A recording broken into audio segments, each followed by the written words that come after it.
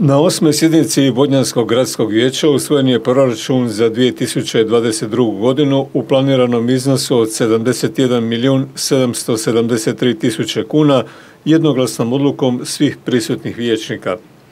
Proračun je realan, decentraliziran, socijalno osviješten te infrastrukturno razvojan prema prioritetima i mogućnostima ističu čelnici grada. Njime je osigurana propulzivnost za one projekte kojima su ili će biti sredstva osigurana sufinanciranjem od strane državnih ili europskih fondova.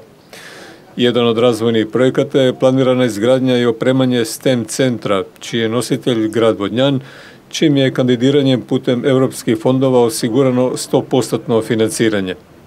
Upravo taj projekt namijenjen je osnovnoškolcima da razvijaju i usvajaju nove vještine i znanja na području novih informacijskih znanosti. Također su osigurana sredstva za projekt Sutra, koja su sufinancirana u iznosu od 85% za nabavku električnog minibusa. Za starije građane i umirovljenike podijeljeni su poklon bonovi za Božić, pri čemu se povećao mirovinski cenzus i iznos poklon bona 50%. Na sjednici su također donesene odluke koje su se komunicirale već duže vrijeme kao što je ona o privremenoj zabrani izvođenja građevinskih radova tijekom turističke sezone 2022. za razdoblje od 1. srpnja do 31. kolovoza. U želji da se pronađe ravnoteža sa građevinarima u poslovnim zonama Galižana i Vodnjan Sjever te poslovnom parku Tison, građevinske radove dozvoljeno je izvoditi, navodi se u obrazloženju odluke.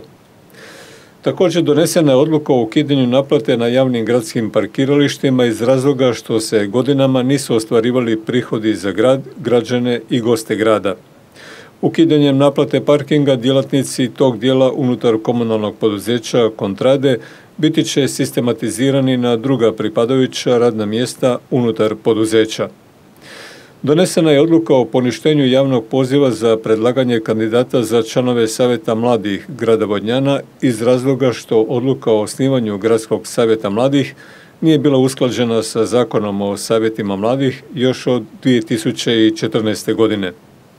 Rebalansom proračuna osigurano je povećanje sredstava za osnovnoškolce u pogledu sufinanciranja radnih materijala i prijevoza, plaće za dva dodatna učitelja produženog boravka, te se takav trend nastavlja proračunom i za 2022. godinu.